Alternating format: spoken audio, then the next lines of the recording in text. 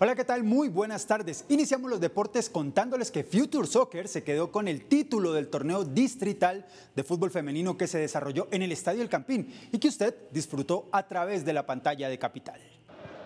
Una final muy disputada fue la que se vivió en la cancha del Estadio El Campín durante la final del torneo de fútbol para las mujeres de Bogotá, de la cancha al estadio. El club Future Soccer y Sport Colombia dieron un buen espectáculo. Muy contenta, creo que este torneo que está haciendo el IRL da más visibilidad al fútbol femenino y más al fútbol bogotano que que tanto hemos luchado ¿no? y que ha sacado muchas jugadoras a la selección Colombia y al exterior. Future Soccer ganó 1 a 0. El único gol del partido fue un autogol de la defensora Lady Ruiz. Sin embargo, el encuentro se desarrolló con una importante posesión del balón en ambos terrenos y que tuvo como protagonistas a las porteras, principalmente a Camila Chuquén, quien nos brindó la tajada del partido.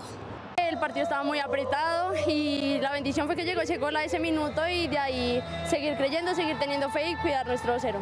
El equipo campeón ha aportado importantes jugadoras a Independiente Santa Fe desde el 2016 y ahora su objetivo es lograr el título en la Copa Nottingham de Lolaya.